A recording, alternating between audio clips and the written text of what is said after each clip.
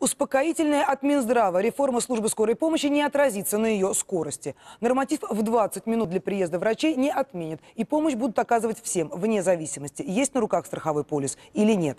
Слухи о том, что все это могут отменить, поползли после того, как платить за услуги скорой начали не из бюджета, а за счет Федерального фонда обязательного страхования. Так что и тем, кого нашли без документов на улице, и роженицам без страхового полиса помочь обязаны.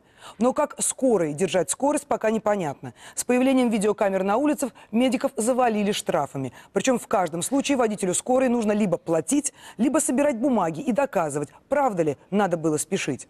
Мой коллега Кирилл Бранин искал ответ на вполне логичный вопрос. Что делать, если даже не 20-минутный норматив, а клятва Гиппократа обязывает спешить, а закон запрещает?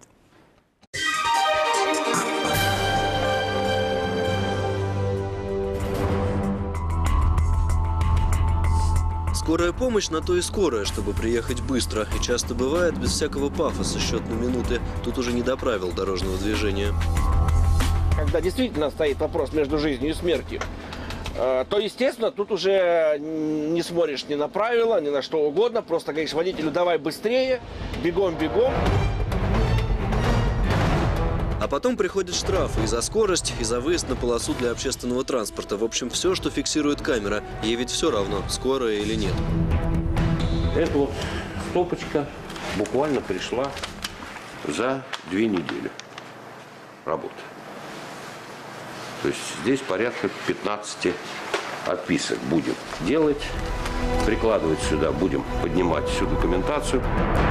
Потом весь пакет документов отправят в ГАИ, где уже примут решение. И так по всей стране.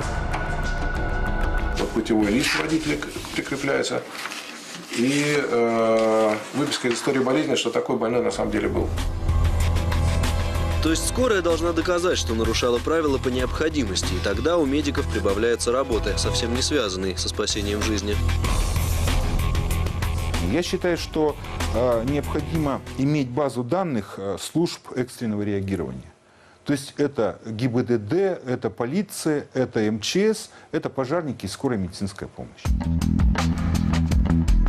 Так, конечно, было бы проще, ведь штрафы и пожарным приходят. Вот только закон не позволяет, а законодатели против такого списка.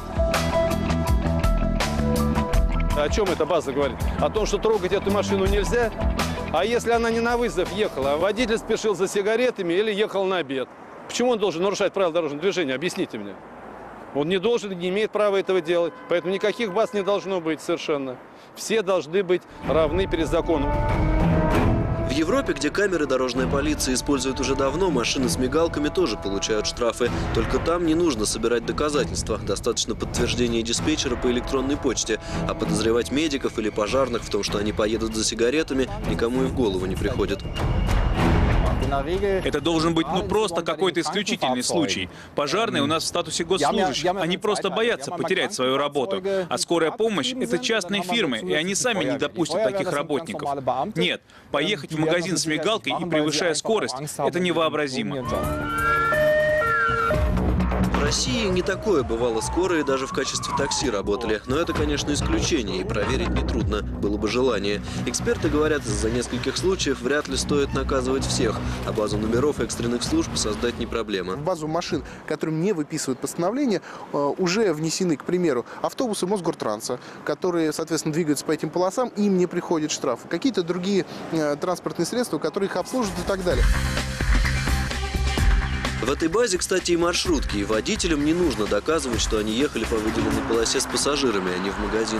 Скорая помощь почему-то особый случай. Штрафы, впрочем, как правило, отменяют. Да и в ГАИ, говорят, стараются не усложнять жизнь медикам. Если на фотоматериале э, видны проблесковые маячки, э, это в случаях, когда машина как нарушает скоростной режим, так и двигается по выделенной э, полосе для общественного транспорта.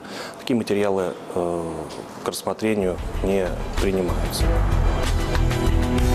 Вот только мигалку видно далеко не всегда, когда кадр только до крыши. И водитель скорой помощи должен 10 раз подумать, прежде чем что-то нарушить. Хотя понятно же, кому будет хуже, если она поедет по правилам.